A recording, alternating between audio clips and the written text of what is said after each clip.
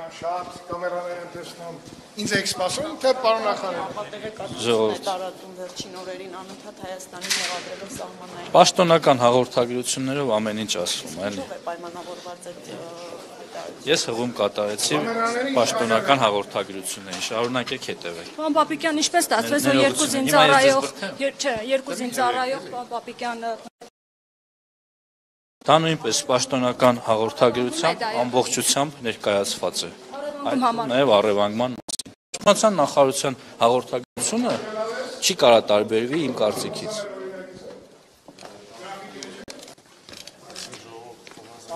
Ներողություն, ներողություն, ներողություն։ Ես ես հիմա ես Այդ հեքիաթները պատմողներին գնացեք հարցրեք, ինձ դեպք չտա։ Չեքիաթի մասին է պարոն Պապիկյան խոսքը, երբ որ երկու զինծառայող ինչ կարող ասել այդ դեպքի հետ կապված կամ բացի։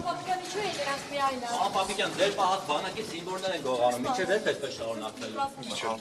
Պարոն Պապիկյան, ձեր պահած սահմաններից բանակի սիմվոլներ են գողանում։